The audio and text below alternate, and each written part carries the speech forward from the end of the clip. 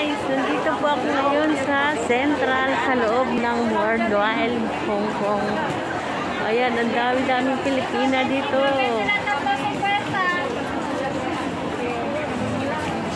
Oh, siksikan sa tuwing linggo yan. Siksikan, siksikan ang buwan. Kasi dito yung murang bilihin at saka tambayan ng mga Pilipina dito sa Hong Kong.